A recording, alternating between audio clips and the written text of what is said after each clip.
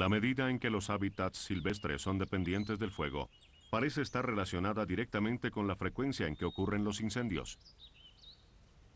Como muchos acontecimientos naturales, estos ocurren en ciclos.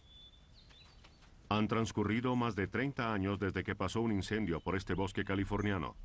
Pero como consecuencia, estas secoyas gigantes, los seres vivientes más grandes de la Tierra, son aún más dependientes del fuego que los árboles del bosque australiano. Esta noche ese fuego llegará.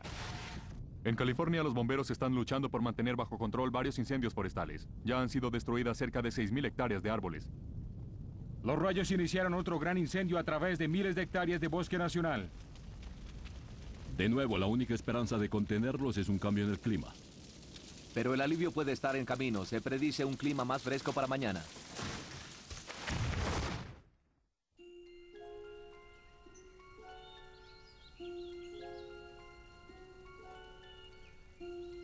Al rayar el alba, la nieve cae suavemente de nuevo, humedeciendo el fuego antes de que tenga oportunidad de arder por todo el bosque.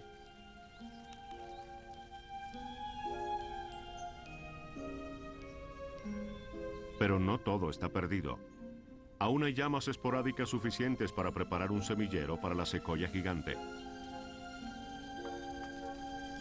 El aire caliente de este incendio se eleva a 50 metros o más hasta la bóveda arbórea donde los conos de la secoya están a salvo, fuera de alcance.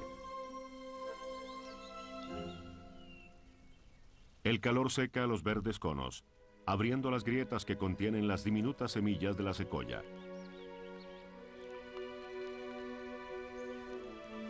Cada año, un árbol maduro produce 2.000 de estos conos del tamaño de un huevo, los cuales contienen colectivamente más de medio millón de semillas, donde pueden permanecer durante 20 años o más esperando este momento.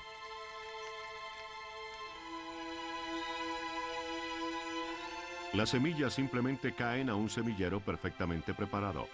O esa es la teoría.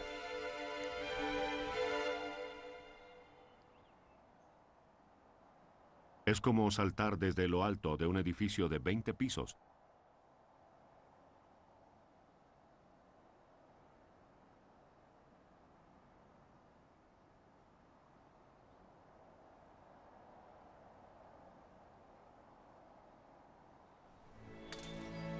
E incluso entonces, las semillas son tan pequeñas y livianas que no tienen la fuerza para sepultarse en la tierra helada.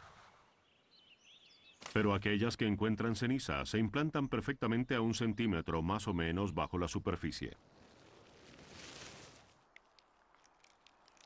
A medida que la capa de nieve se derrite, la luz solar, la humedad, la ceniza y el terreno mineral se combinan para crear una ideal guardería de secoyas. Las secoyas no solo son los seres vivientes más grandes de la Tierra, sino también las que más rápidamente crecen. Necesitan serlo. Es una carrera para ver si pueden alcanzar la madurez antes de la llegada del siguiente incendio. Si no lo hacen, este los destruirá.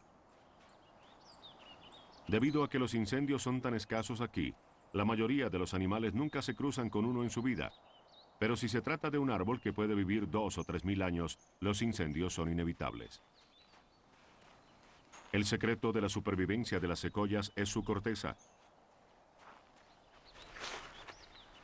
Las fibras flojamente condensadas son malas conductoras del calor, pero se desintegran fácilmente con la frotación. Así que, como protección adicional, la corteza alrededor de la base del árbol tiene casi un metro de espesor. Debido a que las llamas no duran mucho ahí, Solo quedan cicatrices en la secoya cuando arden grandes cantidades de combustible bajo el árbol durante mucho tiempo.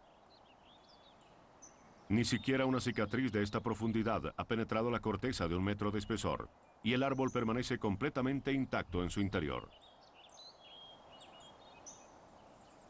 Las probabilidades de que una secoya alcance la madurez son literalmente de un millón en una, pero si lo hace, será casi invencible.